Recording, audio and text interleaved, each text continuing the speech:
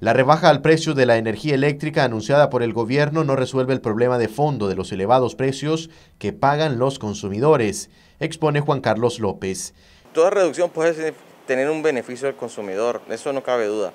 Los montos son los que trae la prerrogativa justamente, o sea, 3%, es más, te lo voy, te lo voy a plantear así, 3%, 5%, 10%, 15% que se rebaja la tarifa eléctrica hoy en día no tiene un significado realmente directo al impacto económico que vive la población nicaragüense, y los negocios, ni mucho menos.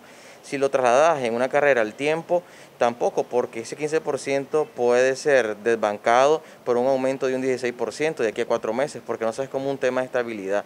Recordad que los aumentos, las alzas o las disminuciones pueden ser obviamente estacionales, pues justamente. Entonces, ese 3%, de soy honesto, no lo considero ni como una noticia justamente para el consumidor. Hablando en pesos y centavos, de 100 córdobas son 3 córdobas menos, de 1000 son 30 córdobas y pudiera ser tal vez 100 córdobas menos. El tema no es esto, el tema está en que aquí no se aborda el tema con seriedad en la energía eléctrica. Si el gobierno lo que está haciendo es fomentando una campaña política para el 19 de julio u, otro, u otros temas, pues está bien que lo haga, justamente, pero sin verlo desde el punto de vista técnico, jurídico y con una trascendencia social, el tema disminuir 3%, 5%, 6%, lo que sea, no simplifica absolutamente nada. Señala a la Cámara de Energía de estar colaborando con los cobros irregulares de la empresa distribuidora.